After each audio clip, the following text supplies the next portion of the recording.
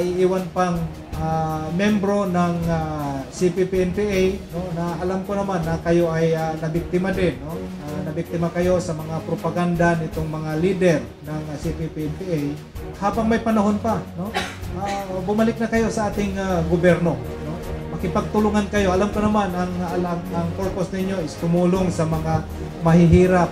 Pero ah, hindi ninyo nararamdaman, hindi ninyo ah, nakikita na yung ginagawa ninyong panghihingi ng mga pagkain doon sa mga mahihirap ay isang pahirap doon sa mga mahihirap na gusto ninyong tulungan. Pero kung kayo ay magpapatuloy na magmatigas ng ulo, kung ayaw ninyong bumalik sa ating gobyerno, ang ating mga sundalo patuloy pa rin no, sa pag-implementar ng mandato namin. Susundan namin kayo hanggang sa matapos ang problema sa local communities. Thank you.